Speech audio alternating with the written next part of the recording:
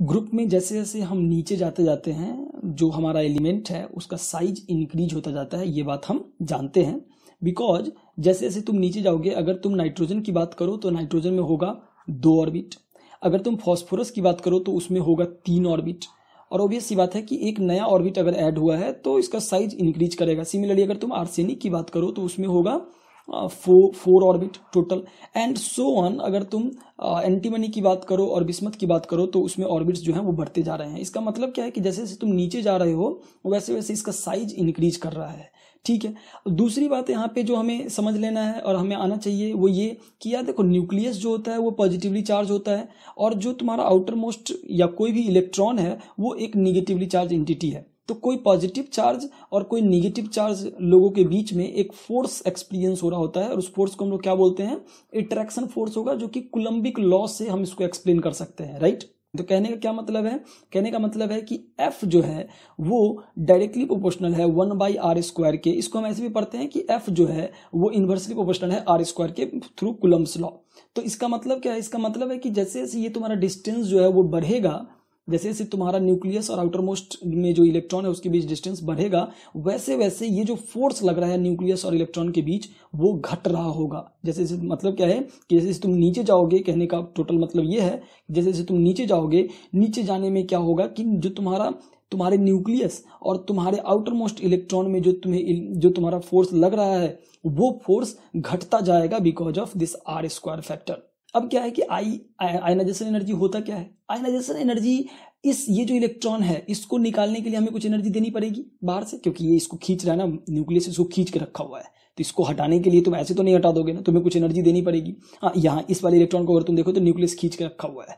तो अगर इस वाले इलेक्ट्रॉन को, चाहे कोई भी इलेक्ट्रॉन को यहाँ से अगर तुम्हें हटाना है तो तुम्हें कुछ ना कुछ एनर्जी देनी पड़ेगी। तो ये बात हमें समझ में आ गया कि आयनाइजेशन एनर्जी होता क्या वही जो एनर्जी हम प्रोवाइड करते हैं to remove this electron from the atom is called ionization energy तो तुम्हें समझ में आ रहा होगा फील आ रहा होगा कि अच्छा आयनाइजेशन इंथेल्पी कुछ भी हो जाए पॉजिटिव ही होगा, हमें देना ही पड़ेगा। क्यों? क्योंकि न्यूक्लियस तो हमेशा इलेक्ट्रॉन को अपनी तरफ़ खींच के ही रखा होगा राइट ठीक है? तो मैं बोलूँगा कि देखो यार, अब अगर तुम्हारे पास नाइट्रोजन है ठीक है, अगर तुम्हारे पास नाइट्रोजन है और इसमें से अभी तक हमने कोई भी इलेक्ट्रॉन निकाला नहीं है, कुछ भी नहीं किया है तो इन इन आइडियल सिचुएशन नाइट्रोजन के आउटर मोस्ट ऑर्बिट में पाँच इलेक्ट्रॉन रह रहा होगा। नाइट्रोजन के आउटर मोस्ट ऑर्बिट में पाँच इलेक्ट्रॉन रह रहा होगा और इस पाँच इलेक्ट्रॉन में से अगर हमें पहले इलेक्ट्रॉन को निकालना हो आई I मीन mean कि नाइट्रोजन अभी न्यूट्रल है, उसमें से जब हम पहला इलेक्ट्रॉन निकालते हैं तो हमें जो एनर्जी देनी पड़ती है, उस एनर्जी को हम बोलते हैं आई वन राइट तो ionization enthalpy one similarly phosphorus के आउटर मोस्ट जब वो न्यूट्रल है अभी तक कोई इलेक्ट्रॉन निकाला नहीं गया है नॉर्मल है, तब उसमें से जो पहला इलेक्ट्रॉन अपन निकालेंगे तो उसको हम बोल देंगे आई वन ऑफ़ फॉस्फोरस जो जिसका की वैल्यू यहाँ पे दिया गया है।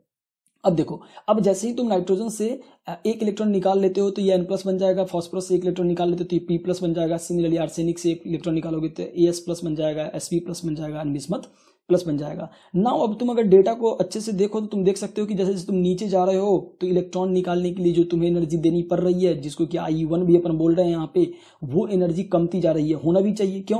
क्योंकि यार जैसे जैसे तुम नीचे जा रहे हो ना साइज़ बढ़ रहा है। साइज़ बढ़ रहा है तो कोलम्बिक फोर्स क्या कहता है? कोलम्बिक लॉ क्या कहता है? कि साइज़ बढ़ेगा यार ना तो तुम्हारा फोर्स जो है वो घट रहा होगा। वो भी स्क्वायर के प्रोपोर्शनल हो रहा है राइट तो जैसे जैसे तुम नीचे जा रहे हो तो साइज़ जो है वो स्क्वायर के प्रोपोर्शनल में घट रहा है, जिसके कारण से तुम देख पा रहे हो कि तुम्हारा जो एनर्जी देना है तुम्हें, आयनाइजेशन एंथैल्पी वन, वो घटता जा रहा है और घटना ही चाहिए, ये बात तुम्हें यहाँ से फील होना चाहिए। नाउ तो ये तो आई वन जो है वो हमें समझ में आ रहा है कि आई वन नीचे से ऊपर से नीचे अपन जाएँगे तो घटता जाएगा बिकॉज़ ऑफ़ साइज़ बढ़ रहा है तो फोर्स ऑफ़ अट्रैक्शन घट रहा है। तो उस इलेक्ट्रॉन को जो पहला इलेक्ट्रॉन है उसको हटाने के लिए जो एनर्जी हमें देनी पड़ रही है वो कम देनी पड़ रही है। नाउ अगर हम आई टू की बात करें अब, ठीक है तो आई टू में क्या होगा? आई टू का मतलब है कि जब एक इलेक्ट्रॉन तुम इसमें से हटा दे रहे हो मतलब अब नाइट्रोजन नाइट्रोजन नहीं रहा, क्या बन गया है? नाइट्रोजन प्लस बन गया है। तो नाइट्रोजन प्लस से जो पहला, अब इलेक्ट्रॉन हटाने में जो तुम्हें एनर्जी देनी पड़ेगी वो उसको हम बोलेंगे आई टू सिमिलरली जो नाइट्रोजन टू प्लस से इलेक्ट्रॉन को हटाने के लिए एनर्जी देनी पड़ेगी, उसको हम बोल देंगे आई थ्री राइट सिमिलरली तुम फॉस्फोरस टू प्लस से हटाने के लिए एनर्जी देनी पड़ेगी, उसको आई टू बोलेंगे for phosphorus and so on तुम आगे तक एक्सटेंड कर सकते हो। नाउ अब देखो यार। अब बात आती है कि होता क्या है यहाँ पे? होता यह है कि जब तुम एक इलेक्ट्रॉन को यहाँ से हटा देते हो राइट जब तुम एक इलेक्ट्रॉन को नाइट्रोजन के आउटर मोस्ट से हटाते हो तो इसका साइज़ थोड़ा सा श्रिंक कर जाता है। रीजन क्या है? रीजन ये है कि अभी आउटर मोस्ट में था पाँच इलेक्ट्रॉन जब नाइट्रोजन नाइट्रोजन था तो। एक इलेक्ट्रॉन हटाने के बाद रह गया कितना? चार इलेक्ट्रॉन तो पहले जो ये न्यूक्लियस था, जो पहले ये जो न्यूक्लियस था, वो पहले क्या कर रहा था? पहले वो पाँच इलेक्ट्रॉन को खींच रहा था इफ़ेक्टिव से। अब चार लोगों को खींच रहा है। तो ऑब्वियस बात है कि थोड़ा सा ज़्यादा फोर्स से ये खींच रहा होगा, थोड़ा सा ज़्यादा फोर्स एक्सपीरियंस करना पड़ेगा इसे, जिसके कारण से इसका इफ़ेक्टिव साइज़ जो है वो थोड़ा सा घट गया। और इफ़ेक्टिव साइज़ थोड़ा सा घटा, इसका मतलब क्या हुआ? आर का वैल्यू जो है वो घटा है, और आर का वैल्यू घटा है मतलब फोर्स जो है वो ट्रिमेंडसली इंक्रीज कर गया होगा राइट right. तो यहाँ से मतलब आई वन और आई टू में अगर कंपेयर करें अपन तो ऑब्वियस सी बात है कि आई टू जो है वो ज़्यादा होगा, बहुत ज़्यादा होगा। क्यों? क्योंकि साइज़ जो है वो श्रिंक कर जाता है जब हम एक इलेक्ट्रॉन निकाल देते हैं। तो सिमिलरली यहाँ पे भी तुम देख सकते हो पी पी का जो तुम्हारा फॉस्फोरस का आई वन है और आई टू है, वो बहुत ज़्यादा यहाँ पे डिफरेंस देखने को मिल रहा है। एंड सो ऑन तुम लास्ट तक इन चीज़ों को ऑब्ज़र्व कर सकते हो कि इन दोनों में आई वन और आई टू में बहुत ज़्यादा डिफरेंस देखने को मिल रहा है। सिमिलरली ऐसे ही क्या हो जाएगा? आई वन और आई टू में क्या होगा? आई वन आई टू और आई थ्री में क्या हो जाएगा? क्यों इतना ज़्यादा डिफरेंस देखने को मिल रहा है? क्योंकि अब एक और इलेक्ट्रॉन इसमें से हटाओगे तो इसका साइज़ और श्रिंक करेगा। और अगर इसका साइज़ और श्रिंक किया, इसका मतलब क्या है कि ये फोर्स जो है और ज़्यादा इंक्रीज किया। और और ज़्यादा फोर्स इंक्रीज किया तो अब जो इलेक्ट्रॉन रह जाएगा लेट सपोज़ हमने इस इलेक्ट्रॉन को हटा लिया, अब जो इलेक्ट्रॉन रह जाएगा, ये जो इलेक्ट्रॉन तुम्हें दिख रहा है, इन तीन इलेक्ट्रॉन में से एक इलेक्ट्रॉन को हटाने के लिए जो एनर्जी देनी पड़ेगी, उसको हम बोल देंगे आई ई थ्री और ये ओबियस सी बात है कि आई थ्री आई टू से ज़्यादा हो रहा होगा। क्यों? क्योंकि साइज़ इसका आई मतलब जो अगर साइज़ की बात करें, ऐसा ऐसा है कुछ कंडीशन साइज़ के केस में, ऐसा कुछ कंडीशन है। ऐसा। तो मतलब हम क्या समझ रहे हैं? समझ रहे हैं ऐसा कि यार एन से तुम एन प्लस में जाओगे तो साइज़ थोड़ा छोटा होगा। एन प्लस से एन टू प्लस में जाएगा तो साइज़ और छोटा होगा। और साइज़ अगर छोटा होगा तो फोर्स बढ़ेगा फोर्स बढ़ेगा तो तुम्हें एनर्जी ज़्यादा देनी ही पड़ेगी for electron to to remove the electron simple सी बात है। ना अब हम बोलेंगे कि यार देखो एन से एन प्लस में जाएगा तो साइज़ का थो, थोड़ा सा रिडक्शन देखने को मिलेगा। पी से पी प्लस में जाएगा तो थोड़ा सा साइज़ को रिडक्शन देखने को मिलेगा। लेकिन अगेन यहाँ पे हमें ये बात ध्यान रखनी है कि पी में एक एक्स्ट्रा सेल है। तो कितना भी छोटा होगा पी ऐसा नहीं हो जाएगा कि एन से छोटा हो जाएगा राइट मतलब पी एन प्लस से तो बड़ा ही होगा। यहाँ से जो तुम्हारा एन प्लस मिलेगा, उस, यहाँ से जो तुम्हें पी प्लस मिलेगा तो पी प्लस का साइज़ एन प्लस के साइज़ से बड़ा ही होगा। मैं क्या बोल रहा हूँ कि एन से तुम एन प्लस बना लोगे पी से जब तुम पी प्लस बना लोगे I mean first ionization energy के बाद तो ए एस से जब तुम ए एस प्लस बना लोगे आर्सेनिक प्लस बना लोगे ऐसे ही एंटीमनी से जब तुम एंटीमनी प्लस बना लोगे और बिस्मत से तुम जब बिस्मत प्लस बना लोगे ठीक है? तो क्या हो जाएगा कि इसका साइज़ जो है ना, अभी स्टिल ये वाला जो हम ये देखते हैं रिलेशन देखते हैं, ये होल्ड करेगा अभी भी। कहने का क्या मतलब है? कहने का मतलब है कि अभी भी एन प्लस जो है वो पी प्लस से छोटा होगा आर्सेनिक से छोटा होगा एसपी से छोटा होगा बी से छोटा होगा, ऐसा हमें फील आता है। क्यों? क्योंकि एक एक एक्स्ट्रा सेल इसमें ऐड किया गया है राइट राइट right. तो इसका क्या मतलब है कि अभी भी एन प्लस का साइज़ पी प्लस से छोटा है? मतलब I E two of N plus ज़्यादा होगा I E two of P plus समझ रहे हो क्यों? Right I E two of N plus ज़्यादा होगा I E two of P plus and so on मतलब अभी भी नीचे वाले लोग ऊपर वाले लोग जो है, छोटे साइज़ के हैं, और छोटे साइज़ होने के कारण से तुम देख सकते हो कि तुम नीचे जैसे जैसे जाते जाओगे, इसकी जो वैल्यू है वो घटती जानी चाहिए। लेकिन लेकिन, यहाँ से यहाँ तक तो बढ़िया चल रहा था, इसमें आ गया लोचा। और जिसको कि लोग एक्सेप्शन बोलते हैं, जो कि एक्सेप्शन है नहीं, इस, इसके बारे में मैं अभी एक्सप्लेन करूँगा कि ये क्यों लोचा हुआ है। एस का जो है वो रिक्वायरमेंट कम है और बिस्मत का रिक्वायरमेंट ज़्यादा क्यों हो गया, इसके बारे में हम बात करेंगे। यहाँ पे, ये देखो। तो यार देखो जो हमने एजम्सन ऐसा हम एजम्सन कर लेते हैं कि ये वाला चीज़ होल्ड कर रहा होगा अभी भी एन प्लस बनने में पी प्लस से पी पी से पी प्लस बनने में ए एस से ये वाला जो रिलेशनशिप है साइज़ का रिलेशनशिप होल्ड कर रहा होगा, ये बात गलत है, ये बात सत्य नहीं है। इसके लिए मैं क्या करूँगा, जल्दी से कन्फिगेशन तुम्हें दिखाऊँगा और कन्फिगेशन में अपन ये देखेंगे कि किस तरीके से एफ़ और डी के इन्वॉल्वमेंट के कारण ये सब गड़बड़ी देखने को मिल गया है ऊपर में। तो देखो यार बिस्मत और केवल मैं बिस्मत और एंटीमनी के कन्फिगेशन की बात करूँगा क्योंकि इन लोगों में कोई ज़्यादा चेंज नहीं देखने को मिला है। इनके प्लस वाले इंस्टेंस में भी आई I मीन mean, अगर तुम प्लस पी कर लो प्लस एन प्लस कर लो पी प्लस कर लो ए एस प्लस कर लो फिर भी साइज़ का कुछ इस तरीके का ही सिस्टम रह रहा होता है। लेकिन यहाँ पे साइज़ का सिस्टम ऐसा नहीं होता।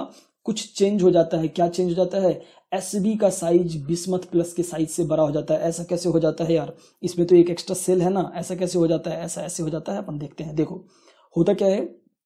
कि अगर तुम इस वाली चीज़ को देखो 83 टोटल इसका एटॉमिक नंबर 83 है मतलब नंबर ऑफ़ इलेक्ट्रॉन 83 होगा इसके अंदर, और नंबर ऑफ़ प्रोटॉन भी 83 होगा, कोई एलिमेंट बाय डिफ़ॉल्ट न्यूट्रल होता है that is why number of electron and number of proton जो है इसमें बराबर होता है। नाउ अब हम जानते हैं कि यहाँ पे मैं देखूँगा, देखो डी में जितना इलेक्ट्रॉन है वो भरता हूँ मैं। आ, सारा ही फील्डेड होगा। ऐसा कन्फिगेशन कैसा होगा इसका? सब में लास्ट में तीन तीन तीन तीन भर दो। मुझे कैसे मालूम है? तुम भी करके देखोगे पता चल जाएगा क्योंकि इसके पी में थ्री होता है और जो तुम्हारा लास्ट ऑर्बिट है उसमें टोटल फाइव होएगा। तो पी में इसका थ्री होगा और जो तुम्हारा लास्ट एस होएगा जैसे कि यहाँ पे यहाँ पे टू हो जाएगा तो ये और ये मिलके पाँच इलेक्ट्रॉन पूरा कर लिया। फिर यहाँ भी तुम देख सकते हो ये और ये मिलके लास्ट में पाँच इलेक्ट्रॉन पूरा कर लिया। ये और ये मिलके पाँच इलेक्ट्रॉन पूरा कर लिया। तो इसके आउटर मोस्ट में फाइव इलेक्ट्रॉन होता है ये फिक्स है। नाइट्रोजन फैमिली के आउटर मोस्ट में। नाइट्रोजन फैमिली के सारे एलिमेंट के आउटर मोस्ट में पाँच इलेक्ट्रॉन होगा नाउ तो अब तुम सारे डी और एफ़ को मैं पॉइंट करना चाह रहा हूँ। क्यों पॉइंट करना चाह रहा हूँ? मैंने एक बात बताई थी लास्ट लेक्चर में कि डी और एफ़ का जो सिल्डिंग इफ़ेक्ट होता है, वो पुअर होता है। इसके बारे में मैं अभी भी एक्सप्लेन करूँगा कि सिल्डिंग इफ़ेक्ट क्या होता है, क्या पुअर होता है, किस, क्यों पुअर होता है, इसके बारे में थोड़ा सा मैं अभी डिटेल बताऊँगा।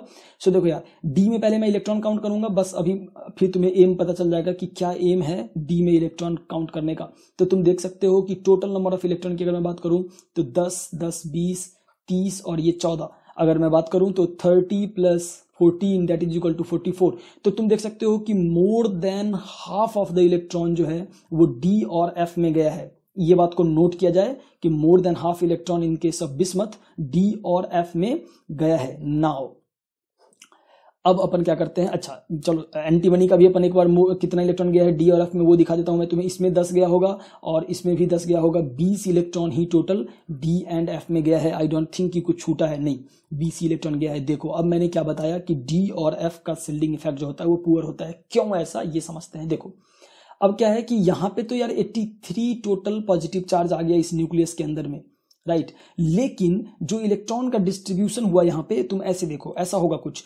इत, बस इतने ही जगह पे इतने ही जगह पे अनइवन डिस्ट्रीब्यूशन होता है। डी और एफ़ में जो इलेक्ट्रॉन जाते हैं, उनका डिस्ट्रीब्यूशन अनइवन होता है। कहने का क्या मतलब है कि एक पर्टिकुलर पोजीशन एटम के अंदर एक पर्टिकुलर स्पॉट पे मैक्सिमम डेंसिटी होता है इलेक्ट्रॉन का, और बाकी सारा जो इलेक्ट्रॉन का डेंसिटी है वो खाली होता है। मतलब डी और एफ़ ऑर्बिटल ऐसा अगर हम फ़ोटो बनाते हैं तो मैंने तुम्हें लास्ट लेक्चर में बताया कि यार डी और एफ़ ऑर्बिटल का जो स्पॉट यहाँ पे इलेक्ट्रॉन डेंसिटी ज़्यादा होता है और बाकी इलेक्ट्रॉन डेंसिटी कम होता जाता है।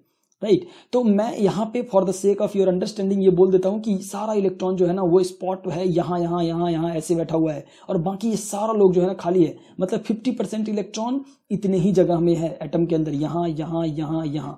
नाउ यहाँ पे तुम देखोगे कि केवल ट्वेंटी इलेक्ट्रॉन्स हैं जो कि लेटर सपोज़ यहाँ और यहाँ पे ऐसे बैठे हुए हैं, बाकी सारे लोग ऐसे घूम रहे हैं और पूरा सिल्ड क्रिएट कर रहे हैं। अब देखो, बाकी जो फिफ्टी परसेंट बाकी जो फिफ्टी परसेंट है वो पूरा ऐसे घूम रहा होगा। ये एक सिल्ड क्रिएट कर रहा होगा आउटर मोस्ट के लिए। इसमें सिल्ड क्रिएट हो रहा आउटर मोस्ट के लिए सिल्ड क्रिएट हो रहा होगा। ये इसमें जो भी जो इलेक्ट्रॉन बचे होंगे एस और पी वाले इलेक्ट्रॉन वो ठीक ठाक रूप से डिस्ट्रीब्यूट होके, जो आउटर मोस्ट इलेक्ट्रॉन होगा, उसके लिए सिल्ड क्रिएट कर रहे होंगे। तो आउटर मोस्ट में अभी कितना इलेक्ट्रॉन बचा हुआ है? चार। क्यों? क्योंकि एक इलेक्ट्रॉन इसमें से चला गया है। हम बिस्मत प्लस की बात कर रहे हैं और एंटीमनी प्लस की बात कर रहे हैं। एक इलेक्ट्रॉन चला गया है, चार इलेक्ट्रॉन बचा है। तो तुम देख सकते हो कि यार, जो सिल्ड है ना जो सिल्ड है, वो ये इलेक्ट्रॉन के कारण अच्छा खासा सिल्ड आ ही नहीं पाएगा। क्यों नहीं आ पाएगा? क्योंकि अब ये जो इलेक्ट्रॉन है ना, वो डायरेक्टली एक्सपोज हो गया न्यूक्लियस के। ये जो इलेक्ट्रॉन है, वो डायरेक्टली एक्सपोज हो गया न्यूक्लियस के। ये जो इलेक्ट्रॉन है ना, वो डायरेक्टली एक्सपोज हो गया न्यूक्लियस के। ये भी इलेक्ट्रॉन तुम देख सकते हो डायरेक्टली एक्सपोज हो जाएगा न्यूक्लियस के। ये घूमता रहता है इलेक्ट्रॉन राइट right. यहाँ भी कुछ ऐसा ही होगा, लेकिन यहाँ पे जो न्यूक्लियस का चार्ज है, वो केवल, ये केवल जो है 51 है। यहाँ पे तुम अगर देख सकते हो, इसमें टोटल प्रोटॉन 51 है तो यहाँ पे भी एक्सपोज होएगा ये आउटर मोस्ट से एक्सपोज होएगा। लेकिन यहाँ पे जो चार्ज में ट्रेमेंडस इंक्रीमेंट देखने को मिला है, और जो तुम्हारा डिस्ट्रीब्यूशन है, वो बहुत पुअर होता चला गया है। मोर देन 50 परसेंट इलेक्ट्रॉन जो है, एक पर्टिकुलर एरिया में कंसंट्रेटेड हो गए हैं। ये सेक ऑफ़ अंडरस्टैंडिंग के लिए मैं ये बता रहा हूँ एक्चुअल डिस्ट्रीब्यूशन मैंने लास्ट लेक्चर में बताया कि कैसे एक्चुअली डिस्ट्रीब्यूट होता है एक ऑर्बिटल के अंदर में हमारा इलेक्ट्रॉन किस तरीके से डिस्ट्रीब्यूट होता है नाउ। तो इतने जगह पे तुम्हारा 50 परसेंट मतलब ये जगह ये जगह और ये जगह मिला के तुम्हारा 50 परसेंट इलेक्ट्रॉन एलोकेटेड है। इसका मतलब क्या है कि ये जो इलेक्ट्रॉन है ना, उसके बीच उसके और न्यूक्लियस के बीच कोई नहीं आ रहा। मतलब बहुत कम सिल्ड क्रिएट कर रहा है, ये एस वाला और पी वाला बहुत कम सिल्ड क्रिएट कर रहा है। लेकिन ऐसा होना क्या चाहिए था? ये लोग भी अगर सिल्ड क्रिएट करते तो बहुत अच्छा सिल्ड हो जाता। सिल्ड का मतलब क्या? एक kind of layer between nucleus and this electron इन दोनों के बीच एक सिल्ड क्रिएट करता अगर ये सब मिलके तो एक अच्छा खासा दीवाल टाइप का हम बोल देते कि एक दीवाल खड़ा हो गया इन दोनों के बीच। लेकिन ऐसा नहीं है। कैसा है? फिफ्टी परसेंट इलेक्ट्रॉन ही सील्ड क्रिएट कर रहे हैं और फिफ्टी परसेंट कंसंट्रेटेड है एक पर्टिकुलर पोजीशन पे। जिसके कारण से क्या होता है कि एक इलेक्ट्रॉन जैसे ही अपन हटाते हैं तो हम देखते हैं कि इतना ज़्यादा इस पे फोर्स लगने लग जाता है न्यूक्लियस के कारण से कि ये एक श्रिंक हो जाता है और इसके साइज़ से भी छोटा हो जाता है। अगर तुम देखोगे, अगर मैं तुम्हें एक डेटा दिखाऊँ इंटरेस्टिंग डेटा तो यहाँ पे तुम देखो यार आयर कोवेलेंट रेडियस में अगर तुम इस चीज़ को ऑब्ज़र्व करोगे, इस चीज़ को तो बहुत ज़्यादा डिफरेंस नहीं है अभी भी। मतलब अगर तुम नॉर्मल नॉर्मल बिस्मत और नॉर्मल एंटीमनी भी लोगे ना तो फिर भी बहुत ज़्यादा डिफरेंस नहीं है। इसका 141 पिकोमीटर दिया हुआ है, इसका 148 पिकोमीटर दिया हुआ कहने का क्या मतलब है? कहने का मतलब है कि इवन इफ़ की एक ऑर्बिट ऐड हुआ है इसके आउटर मोस्ट में। इवन इफ़ की एक ऑर्बिट ऐड हुआ है इसके आउटर मोस्ट में, फिर भी इसका केवल सेवन पिकोमीटर ही इंक्रीमेंट देखने को मिल रहा है इसके रेडियस में। ऐसा क्यों हो रहा है? सेम इफ़ेक्ट बिकॉज़ इसके जो इलेक्ट्रॉन्स हैं, वो एक पर्टिकुलर एरिया में कंसंट्रेटेड हैं, जिसके कारण से हम देख रहे हैं कि ये जो इलेक्ट्रॉन है, वो काफ़ी ज़्यादा सफ़र कर रहे हैं किससे? इंटरेक्शन से। किसके इंटरेक्शन न्यूक्लियस का इंटरेक्शन न्यूक्लियस में काफ़ी हेवी चार्ज आ गया है, और जिसके कारण हम देखते हैं कि इसमें जब हम एक इलेक्ट्रॉन इससे हटाते हैं तो इसमें जो साइज़ रिडक्शन हुआ और इसमें जो साइड रिडक्शन हुआ, वो रिडक्शन इतना ज़्यादा हो जाता है एंटीमनी के बिस्मत के केस में इतना ज़्यादा रिडक्शन हो जाता है कि तुम्हारा एंटीमनी का साइज़ बड़ा हो जाता है बिस्मत के साइज़ से और वहीं पे आ जाता है, जिसको कि लोग एक्सेप्शन बोल देते हैं। वो क्या है हमारा एक्चुअली कंसेप्ट है कि ये वाला चीज़ क्यों हुआ है। अब हमें ये बात समझ में आ रही होगी कि अच्छा इसका क्या लॉजिक क्या है। मेन लॉजिक क्या है? पुअर सिल्डिंग इफ़ेक्ट ऑफ़ अगर एक लाइन बोलूँ पुअर सिल्डिंग इफ़ेक्ट या स्क्रीनिंग इफ़ेक्ट भी अपन इसको बोलते हैं poor shielding effect and screening effect of P sorry D and F के इलेक्ट्रॉन का पुअर सिल्डिंग इफ़ेक्ट कैसे पुअर सिल्डिंग इफ़ेक्ट होता है? इसके बारे में मैंने लास्ट लेक्चर में बताया है। थोड़ा सा इस लेक्चर में एक्सप्लेन करने की कोशिश करी है। तो तुम इस चीज़ को भी डाइजेस्ट तुम्हें करना आना चाहिए कि क्यों हो रहा है, कैसे हो रहा है। सिमिलरली अगर तुम बात करो, यहाँ देखो, नीचे जाने से ये डिक्रीज करनी चाहिए डिक्रीज कर भी रहा है, लेकिन यहाँ पे आके लोचा हो गया फिर से। लोग इसको एक्सेप्शन बोल देते हैं। एक्सेप्शन है नहीं। क्या है ये? ये रूल है। क्या रूल है? Shielding effect again poor shielding effect होता है पुअर स्क्रीनिंग इफ़ेक्ट होता है एफ़ एंड डी और वाइटल से। एक और इलेक्ट्रॉन तुम हटाओगे इसका साइज़ का रिडक्शन फिर से ज़्यादा होगा इसके रिडक्शन से। राइट तो अब क्या हो जाएगा? इसका जो साइज़ है इसका जो साइज़ है वो आई I मीन mean, जब प्लस वाले की साइज़ की बात कर रहा हूँ एस बी प्लस और तुम्हारा बिस्मत प्लस की साइज़ की बात करूँ तो एस बी प्लस का साइज़ बिस्मत प्लस के साइज़ से बड़ा हो जाता है। Similarly S B two plus का साइज़ बिस्मत टू प्लस के साइज़ से बड़ा हो जाता है। एंड दैट इज़ वाई हम लोग ये एक्सेप्शन जिसको कि लोग एक्सेप्शन बोलते हैं बाई द वे तो ये चीज़ जो डेटा में तुम्हें यहाँ पे बोल सकते हो कि ट्रेंड के अकॉर्डिंग ये डेटा नहीं आ रहा है। This is the reason reason क्या है? मैं एक बार इन शॉर्ट करता हूँ। रीजन ये है कि यार बिस्मत के अंदर बिस्मत के अंदर क्या हो जाता है कि अनइवन डिस्ट्रीब्यूशन होता है more than fifty percent electron का। देख रहे हो? कि यहाँ पे और यहाँ पे एक पर्टिकुलर एरिया में सारा इलेक्ट्रॉन गैदर्ड रहता है। एंड डेट्स वाई होता क्या है यहाँ पे? इस एरिया के में इलेक्ट्रॉन होने के कारण जो सिल्डिंग है, प्रॉपर जो दीवार क्रिएट होना चाहिए, इसको प्रोटेक्ट करने के लिए न्यूक्लियस से वो क्रिएट नहीं हो पा रहा है। राइट only 50% और less than 50% electron is responsible to create the silt तो दैट इज़ वाई क्या हो जाता है कि इस इलेक्ट्रॉन को अट्रैक्शन फोर्स फेस करना पड़ता है बहुत ज़्यादा in case of bismuth and that is the reason कि ये लोग खिंच जाते हैं, कुछ ज़्यादा ही खिंच जाते हैं, इनका साइज़ बहुत ज़्यादा, तुम देख सकते हो साइज़ बहुत ज़्यादा डिफरेंस आया नहीं है। और एक इलेक्ट्रॉन हटाने के बाद तो ये और ज़्यादा खींचेंगे। क्यों? क्योंकि पहले पाँच लोगों को खींचना था, अब चार लोगों को ही खींचना है, और ज़्यादा खींच लेगा इसको। और इसका साइज़ ऐसा हो जाता है कि बिस्मत का साइज़ जो है, वो तुरंत ही बिस्मत प्लस का जो साइज़ है, वो घट जाता है एस प्लस के साइज़ से। और सिमिलरली एस टू प्लस का जो साइज़ होगा, वो वो फिर से बड़ा हो जाएगा बिस्मत टू प्लस के साइज़ से। एंड हियर कम्स कि जैसे ही ये साइज़ डिक्रीज हुआ तो हम जानते हैं कि फोर्स जो है वो इन्वर्सली प्रोपोर्शनल होता है आर स्क्वायर के। साइज़ डिक्रीज हुआ आर का वैल्यू डिक्रीज हुआ एफ़ जो है ट्रेमेंडस इंक्रीज करेगा। ट्रेमेंडस इंक्रीज करेगा, इसका मतलब क्या है? मतलब ये है कि जितना इस इलेक्ट्रॉन को निकालने के लिए तुम्हें एनर्जी देनी पड़ेगी, उससे ज़्यादा एनर्जी तुम्हें इस इलेक्ट्रॉन को निकालने के लिए अब देनी पड़ रही होंगी फ्रॉम बिस्मत प्लस